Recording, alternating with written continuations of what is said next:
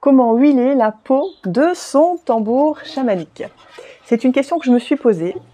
Euh, parce que euh, j'utilise très souvent mon tambour et euh, j'ai reçu l'information qu'il était important de huiler, de graisser la peau de son tambour à chaque changement de saison. Pourquoi c'est intéressant de le faire? Bah, C'est une peau, hein, et donc c'est important de la nourrir, c'est important qu'elle soit entretenue pour éviter que la peau ne craque. On sait qu'en temps humide, la peau aura tendance à se détendre un petit peu. Le fait de la passer sous sèche-cheveux ou au soleil 10-15 minutes va permettre à la peau de se retendre. Maintenant, on va aussi absolument éviter de laisser son tambour en plein soleil pendant plusieurs heures, hein, parce que ça pourrait sécher beaucoup trop la peau et ça pourrait la faire craquer. Donc c'est intéressant, c'est important même d'entretenir son petit tambour chéri en huilant, en graissant euh, la peau de celui-ci, idéalement à chaque saison. Alors moi je vais le faire, euh, euh, donc ça fait moins d'un an que j'ai ce tambour. Là ici je vois qu'il y a un, gros changement de saison, hein. il y a vraiment les grosses températures qui arrivent. Donc je ressens l'envie et le besoin de le faire maintenant. Je pense que c'est bien de le faire à l'arrivée de l'été, à l'arrivée de l'hiver, au moins deux fois par an. voilà. Donc je vais vous expliquer. donc j'ai vu qu'il était intéressant d'utiliser une huile minérale ou une huile végétale. Ça peut être une huile d'amande douce, ça peut être une huile de coco. Donc, euh, vous cassez pas la tête à faire 36 magasins. Moi, j'ai pris ce que j'avais euh, chez moi. Donc, j'avais l'huile de coco. Alors ici, mon huile de coco, elle était encore figée.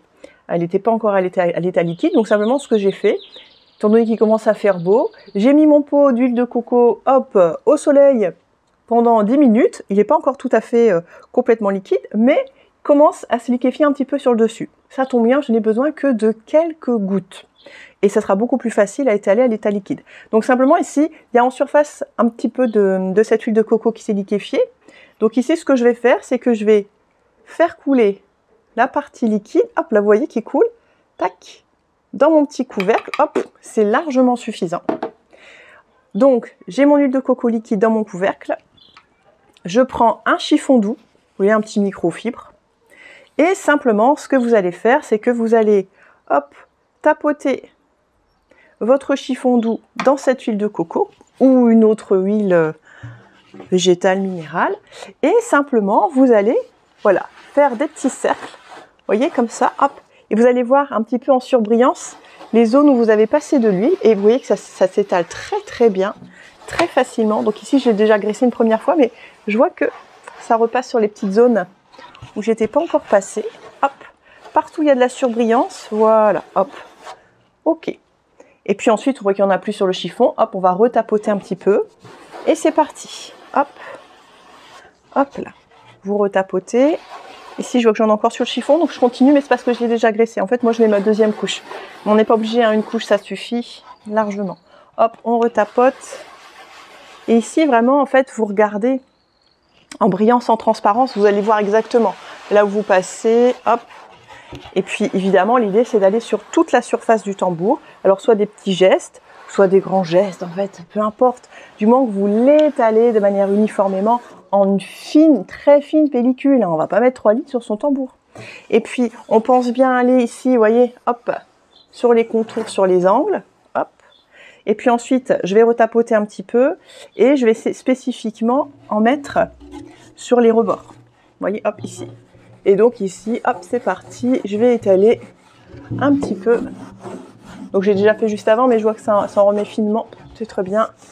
Hop, ça va au bout du processus. Très bien. Hop. Voilà.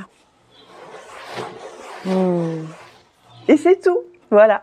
C'est aussi simple que ça. Donc vraiment, c'est important de le faire. Et alors en plus, hmm. Ah, et en plus, ça sent trop bon l'huile de coco. Alors quand on aime, hein. voilà, moi j'adore. Donc super. Petite odeur, bon, qui va rester que quelques heures ou quelques minutes, hein, ça va vite, euh, vite s'envoler. Hmm. Et ici, je sais que ma peau est nourrie. On va arriver sur des températures hautes, donc c'est bien, c'est important de nourrir la peau de son tambour. Voilà pour ce mini tuto comment euh, graisser, huiler la peau de son tambour chamanique. C'est vraiment très simple, ça ne prend que quelques minutes. Alors moi, euh, pour le faire, je l'ai fait j'ai pris le temps hein, de le faire juste avant de, de, faire cette vidéo, ce petit tuto. J'aime bien me mettre une petite musique, j'aime bien allumer une petite bougie, un petit encens. Et vous voyez, c'est un petit peu euh, le rituel pendant que pendant que je dépose cette huile comme ça sur mon tambour. Bah, je lui envoie de l'amour et je, je, le remercie pour tout ce qu'il m'apporte au quotidien. Voilà, Je remercie pour les sons, pour les chants, pour son énergie, pour ses vibrations. Et je vous invite vraiment à prendre ce temps, ce temps de connexion avec votre tambour.